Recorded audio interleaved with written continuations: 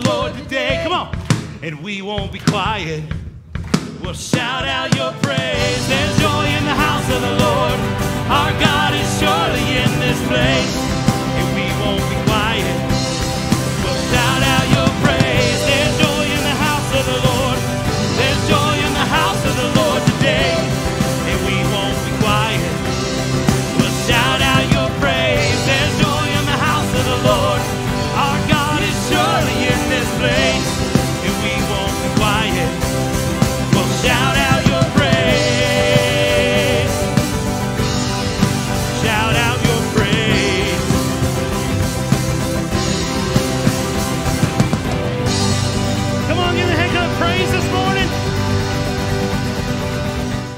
looking forward to what God's going to do today, and I know that He's got something great for you to hear today. I believe that many hearts can be touched as you just open yourself up to whatever it is God has for you today. So, as we do this next song, just let these words speak to your heart and encourage you about how amazing, how beautiful, and how wonderful our God is.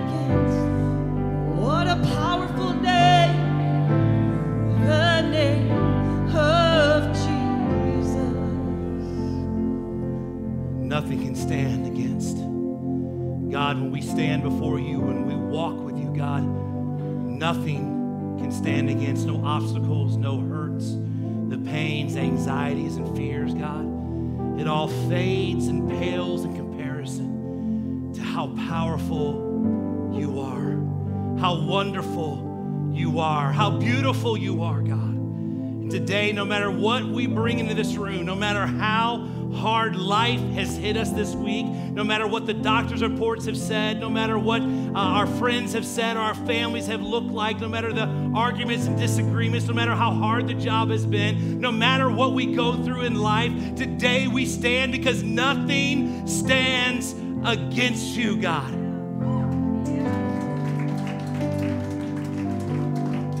So today, we raise our hands, not, not as a, a sign of surrender, but we raise it because we surrender our lives because we know that victory is coming. We raise our hands because we surrender to the one who does the impossible the everlasting God. And no matter, God, where people are at today, no matter how hard, no matter where you've come from today, you come into this place. I'm here to tell you before you leave today, you will know one thing. You will know that God is powerful and God is great. And no matter what you're facing, He is there for you. He loves you and cares about you today because He is a powerful, awesome working God. And there is none like.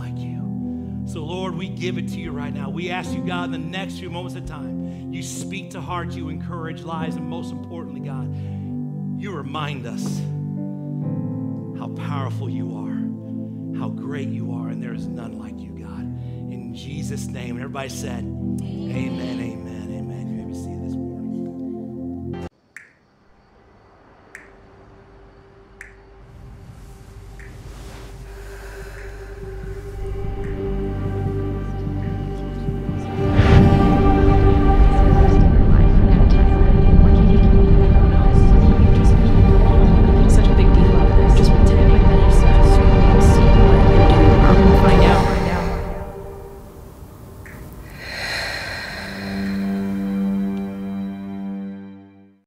started a new series last week called Anxious for Nothing. Turn to your neighbor and say, Anxious for Nothing. Turn to another neighbor and say, Nothing. Nothing, anxious for nothing. Well, we are trying to discover how we can live this life with a lower threshold of anxiety. Because the fact is, we live in a very anxious world. Many of you sitting here today are dealing with a lot of anxiousness, a lot of anxious thoughts, a lot of anxious agendas, a lot of things that are pressing their way in. And the goal of this series is to realign us with how God wants us to handle the anxieties in our lives. Are they real? Yes. Do they happen? Yes. However, God wants us to walk with Him and allow Him to take a lot of those anxious feelings that we feel and to carry them for us. And so last week we started learning with this one truth, and this truth is this that the Lord is near. We have we can we can lower anxiousness by understanding and reminding ourselves the Lord is what? The Lord is near, that He's near us, that He cares for us. He sees the struggles you're going through, He knows the burdens you're under, He understands what's pressing in on you. And because of that, He is near to you. You may not feel Him, you may not sense Him, but sometimes the reason why we don't feel Him, we don't hear Him, we don't feel, like he's close is because he's so near and he's whispering so quietly, but the noise and all the anxiety is drowning out the voice and the whispers of God. And so there's times that we just got to settle and quiet our souls and we have to ask God, God, where do I need to be with you in this? How do I find a place of peace even in the middle of my anxious thoughts? Understand this that anxiety is, is breeded and born in the battlefield of our minds. That it is our mind where we begin the seed of anxious thoughts. We begin to overthink things, we begin to analyze things. Maybe we get a phone call in that, that's just heart wrenching. Maybe we begin to think I'm not good enough or I'm a failure, or I'll never measure up. Then what we do is because we have these anxious thoughts, we have to convince the world that we don't have anxious thoughts. And so we begin to put a fake facade up. We begin to filter our world. We begin to not tell the real truth and not be real and authentic about what we're really going through. And so it begins to put out the hashtag blessed on everything. Why? Because my life is so perfect, but really it's so full of anxiety. It's so full of anxious thoughts that it's just spiraling out of control. So many of us sitting here today feel sad. We feel anxious. Some of us feel lost today. Others of us feel like we don't know how we're going to move to the next day. This battle that happens, this anxiety battles inside of our mind. And so what I want to do is I want to look at Philippians chapter 4. It's the it's the prescription against anxiety. It is the, it is the verses that challenge us about how we're to approach anxious and anxious thoughts in our lives. How do we deal with it? Philippians chapter 4 tells us how. If you have your Bibles, open them up and read it with me. Now, let me just say before, before I get into this, remember who writes this, who's writing this. This is written by a man named Paul. Paul was a great, valiant fighter for the kingdom of God. Paul, though, because he spoke against the religious people, finds himself under arrest by the Roman, eh, by the Roman soldiers, and he's under 24 hour house arrest. He has limited freedom, limited ability, always being watched, always being under the scrupulous eye because he's on his way to stand trial before the emperor. Now, here's what's interesting. Here's how Paul starts off Philippians chapter 4. Say it with me. He says, Rejoice in the Lord always. I will say it again. Oh, that's pitiful. That's pitiful. That's horrible, guys. A little more enthusiasm, a little more charisma. Let's say it again. Rejoice in the Lord always. I will say it again. Rejoice. What is Paul thinking here? He's in prison. He's a prisoner. He's on his way to what could be his death sentence. And he is saying, Rejoice in the Lord always. I will say it again, rejoice. He goes on to say, This is why he rejoices. He says, Let your gentleness be evident to all. Why? The Lord is what we learned about last week. Here's our passage today. Do not what? Do not be about, but in, in every situation, by prayer petition with thanksgiving, present your request to God and what will happen as a result. And the peace of God. And the I'm waiting, and the which transcends all understanding, will guard your hearts and your minds in Christ Jesus. Help us today, God, with our anxious thoughts, the thought life that is out of control, the thought life that is surrendered to the cares of this world and not surrendered to the will of God. Lord, help us with our anxious thoughts today, I pray. May you shake us and may you challenge us to the core. I rebuke right now in the name of Jesus any distractions from this message because I believe that this message today is going to be life changing for so many in this room because, Lord, you have the power to do the impossible in every situation. You can do the impossible in Jesus' name. And everybody says, what are you worried about today? What are you anxious about today? Your job, your family, a relationship? What are you anxious about today? Your future? A decision you got to make? What holds you paralyzed with fear and worry today? What is that anxious thing that you have? Do you have it? If when you have your anxious thought, I want you to put your hand up in there and I want you to grab it. Grab your anxious thought do it with me. Come on now. Everybody participate with this. This is good stuff. You got it? You got that anxious thought? Now bring it down. You're going to hold on to that for just a little bit. clench your fist as tight as you can. It's gonna feel, it's gonna feel pain in a little bit. Because that's what anxiety does. We grab a hold of it, it grabs a hold of our life, and it literally paralyzes us from what God wants to do. What is anxiety? Anxiety can be psychological, anxiety can be emotional, anxiety can be situational, anxiety can be seasonal.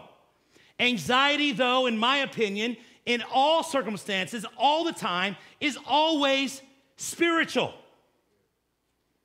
Anxiety is always spiritual. It always is a battle between God's spirit trying to guide us and us thinking we have the right to control things in our world, things in our life. See, so what happens is, in order for us to cope with anxiety, we go see a doctor or we go to counseling, and those are great things. We get maybe we maybe we start a diet. Maybe we figure out how to do some supplements or we try to figure out how to fix it. We get a prescription maybe to kind of level us out. And those are all powerful things, but nothing can beat the power of God. Nothing can beat or, t- or contend with the power of God. I don't know, some of you might get it. Thank you. Thank you, thank you. Smattering of applause. Appreciate that. I want to challenge you with this today, this thought. Anxiety is spiritual, and because it's spiritual, it calls us to an action, and the action is to pray. The action is to petition God, to constantly bring whatever it is that we're struggling with over and over again before God. The, the, the, the action is giving thanks to God because He can do the impossible. The action is we are going to bring our anxiety to God. Anxiety is that thing that creeps up in our life. That's the warning light that something is wrong. Anxiety is a it can be a good thing if we recognize something's wrong and we try to figure out how to find a solution. Anxiety is that thing, that car light in your car that's, that's illuminated that says there's something wrong with the car. You can either fix it or wait for it to burn out. It's up to you. But the problem never goes away. Anxiety is that signal alarming you time to pray, time to take it to God. It's an indicator. If it's big enough to worry about, it's big enough to pray about. If it's big enough to worry about, it's big enough to pray about. The verse says, Be anxious about nothing, but in everything, with constant prayer and petition, present, present your request to God.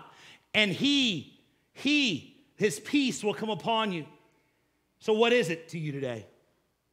What is it to you today that presses its way in? If it's on your heart, if it's on your mind, it's on God's heart. God cares for you, God sees where you're at, and He wants you to bring your request to Him. And that does not mean when you present your request to Him that all of a sudden He's gonna do it. He's not a Santa Claus God. He doesn't do what you want him to do because it's on your wish list. He does what's best for you. In fact, when you bring your requests to God, you bring them to him with no expectations but to release your fears and worries back to him. So I've done this message quite a bit, and I think that the challenge that we all face in this message is if we're being real about this today is not we really are not comfortable with praying okay? God is great, God is good, let us thank Him for our food. We're good with that kind of prayer. Now I lay me down to sleep, I pray the Lord my soul to keep. What a horrible prayer. If I should die before I wake, seriously, this is a very horrible prayer. And morbid, right? Die before I wake, I pray the Lord my soul to take. I mean, there's nothing better to put the last thought in your kid's mind. You're gonna die tonight, you better be prayed up. There you go. right? But this is this is this is the challenge that I think we face in, in life is just being real, how many guys just think about this? We really don't know how to talk to God. We're being real. We don't understand that, that how God, how do we communicate with the omnipotent, that means all powerful, all knowing, omniscient God. How in the world do Kevin Daryl, that's my middle name, Hardcastle, how does Kevin Daryl talk to God? Huh, he's big, he's huge, he's massive. He could take my life like that if he wanted to. He is omnipotent, an all knowing God. How do I talk with God? How do we talk with God? It's very intimidating, if I'm being real. It's overwhelming at times. How do we, what do we call him? Is it dad? Is it father? Is it holy God? Holy Father? What, how do we address him? Do we do it in the King James? Hearken thouest, O fathereth, my hearteth is heavieth, cometh and healeth thy misselfeth. Is that how we talk to God, King James style? How do we how do we handle the Holy Spirit? We're, Holy Spirit's around us all the time. He's here right now, moving in here, talking to you, encouraging your hearts, encouraging this message. You're hearing the word, it's touching your hearts, it's touching your ears. God's doing something powerful. How do we the Holy Spirit is with us all the time. When you're driving in your car and you get angry at that person and you want to say some words or you say some words, the Holy Spirit does not get out of your car because you're saying words. He's still there. Still hearing you. How do we do it? What if, what if I'm praying and I fall asleep? Does God get angry at me because I fell asleep? I bored myself to sleep. Wow. Some of you say you do, some of you say, Pastor Kevin, you do that every Sunday morning, but thank you. You bore me to sleep. Does God get mad? Does God get upset with us? How do we pray? How do we, how do we ask? How, we say prayer and re- petitions. What, what if what I ask for is pretty trivial and pretty small and pretty just minute and I'm asking God for it? You know, someone else is asking to be healed of cancer and I'm asking for a sale on a dress. Seems awful trivial, right? How do we talk with God? How do we call? I mean, and then you got these people, and you know who they are. You'll hear them pray, and it's like they went to prayer school, right? I mean, they're praying and you're over there and you're just being blessed by their prayers. Like, oh my gosh, I cannot talk to God. That is amazing prayer. It's like they are so into. And then you got these people that, man, they start quoting scripture, right? They start quoting scripture in their prayer, and you're like, oh, well, now they definitely got the authority. They just use God's word, man. It's got to be good. It's a, that's a done prayer. That's done. That's a done prayer, right? How do we talk with God? How do we deal with this this chasm between us and God because, quite honestly, if we're being honest today, many of us don't pray, neither like we should. Many of us don't think about it. In fact, if we do think about it, it's the last resort, not the first. It's once we've done everything we could do and we've messed it up even more than what we thought we could. And then we say, okay, well, I give up, God. I'll come to you now. I can't figure out my finances, so God, I'll come to you and you can help me figure them out. I can't figure out my kids, so God, I'll come to you and I'll bring them to you and I'll ask you for help. Well, here's what scripture says it says, pray about everything, present your request to God, not demands, requests to God, not demands. So here's, here's how we begin the prayer mentality. First off, let your needs be known. If you have your notes, you can write that down or put it in your margins. Let your needs be known. That's what the Greek actually means. The Greek actually means to let your request be known. Let your needs be known to God. As a parent, I have two kids. Some of you have more kids than, than I do. And so you'll, this, this story will make way more sense than even my story does. I have two kids, so I can only speak from two kids' standpoint. Two kids. Both of them approach me and Michelle in totally different ways. They're not the same. And you may have this. You may have a kid that communicates to you better through text or through, through, through a non face face to face conversation. Or you may have kids that want to call you up and maybe they want to talk to you for like 45 minutes an hour. You may have these kids that, that they, they wait to the end of the day and at 10:30 they come into your room and that's when they want to talk to you at 10:30 at night when you're about to go to sleep. You may have these kids that they're like little attorneys. They present their case in such a such a just amazing debatable way. You feel like you can't even compete with them. They're just like, they're little attorneys, right?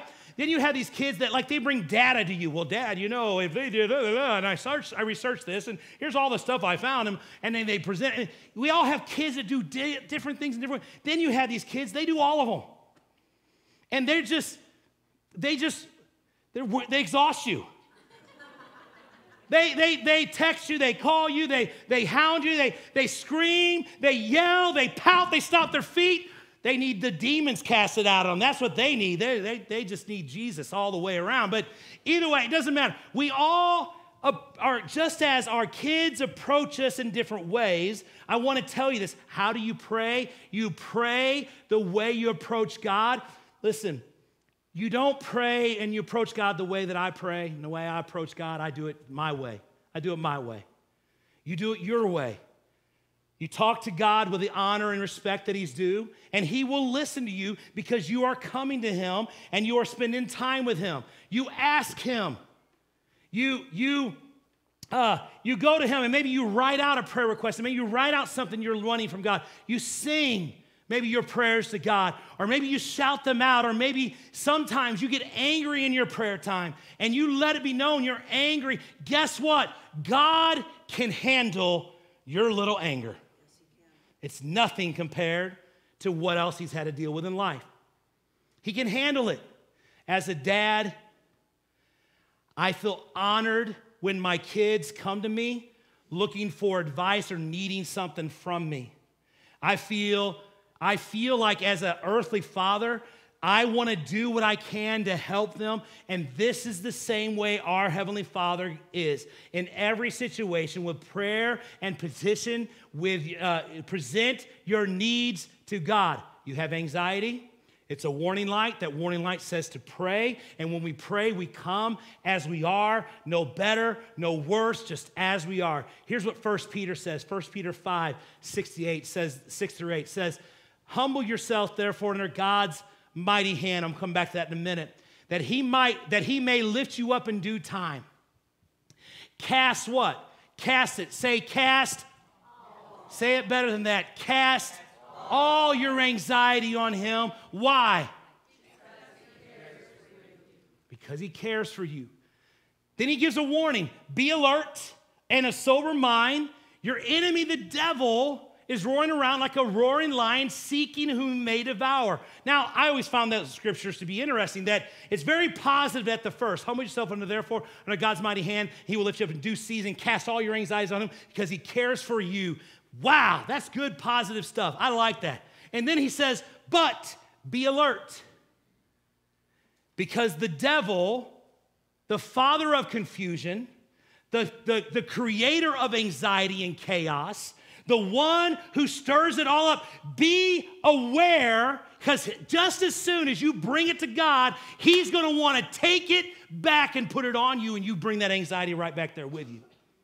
Cast all your anxieties upon you because He cares for you. What's interesting about this is this, these verses are written by Peter. This is the same Peter, disciple Peter, that denied Jesus three times.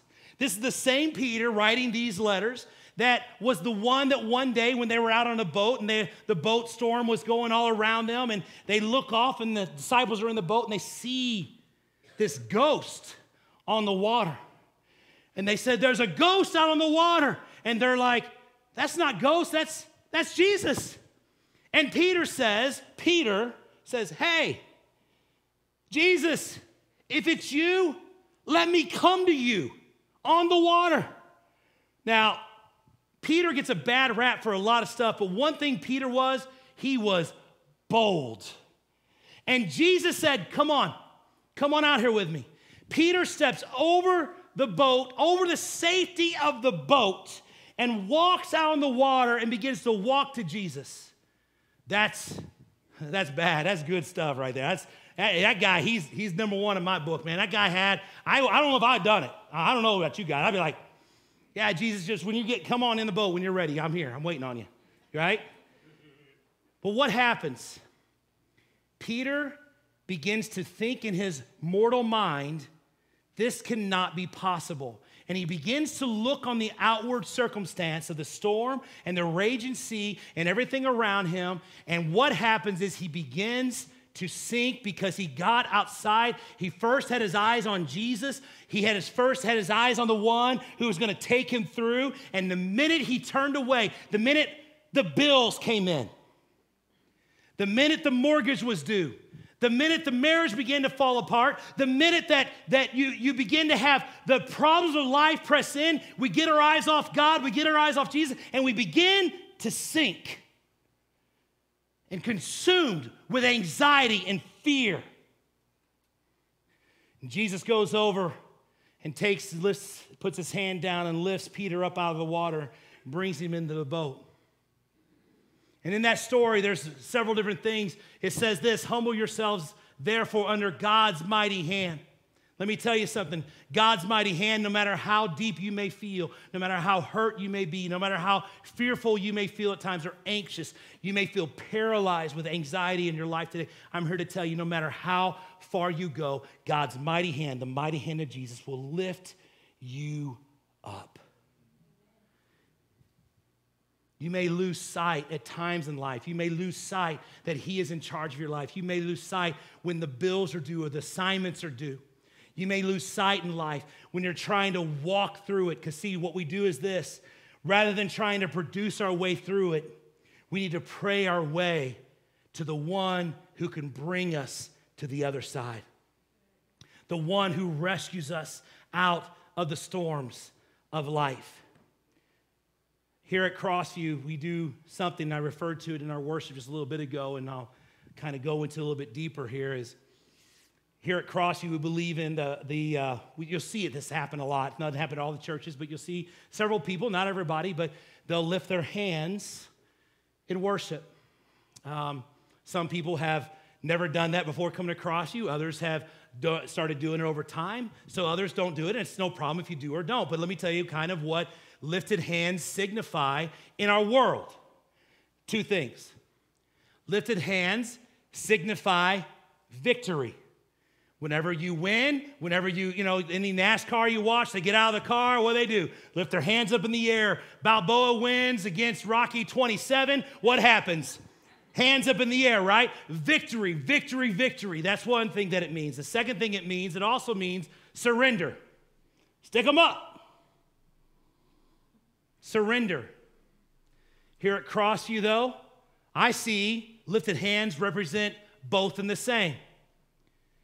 When we surrender, there is victory in Jesus.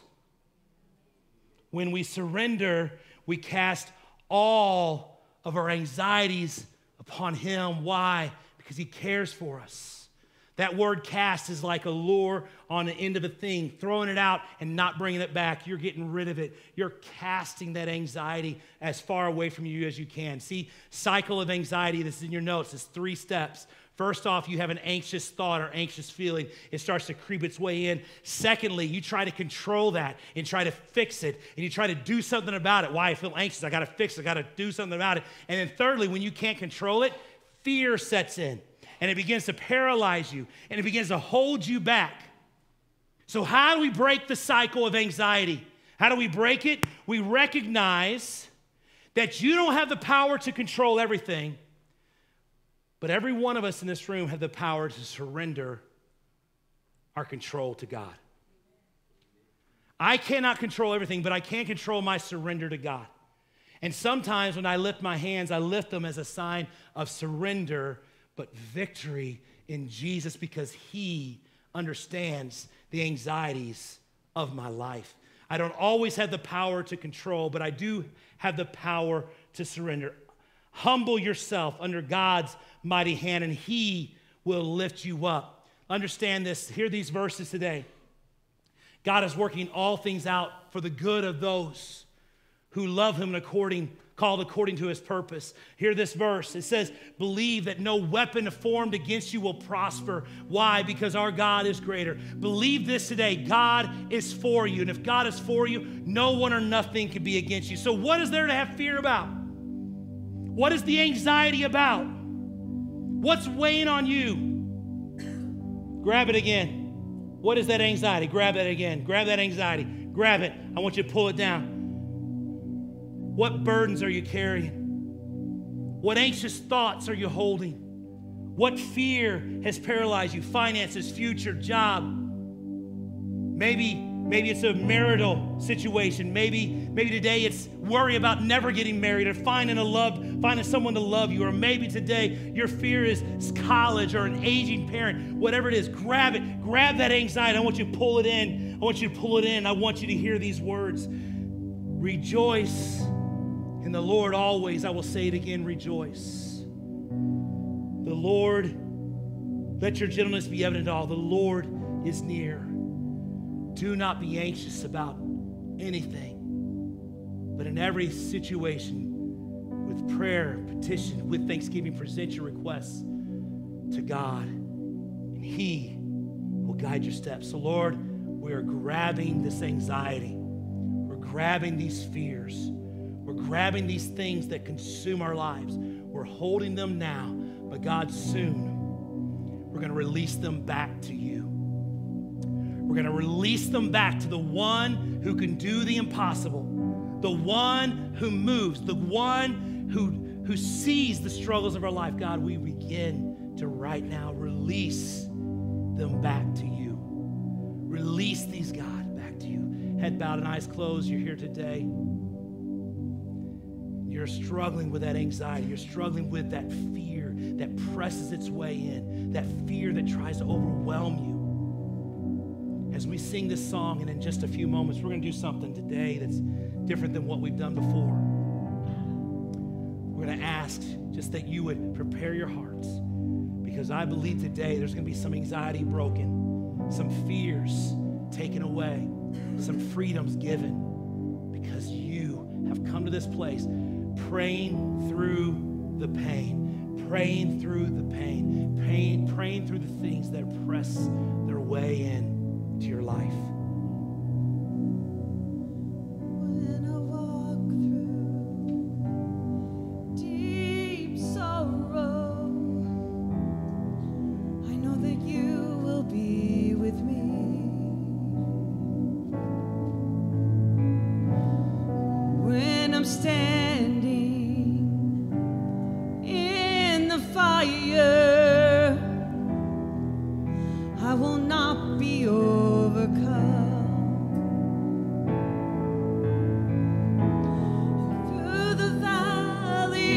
Of shadow,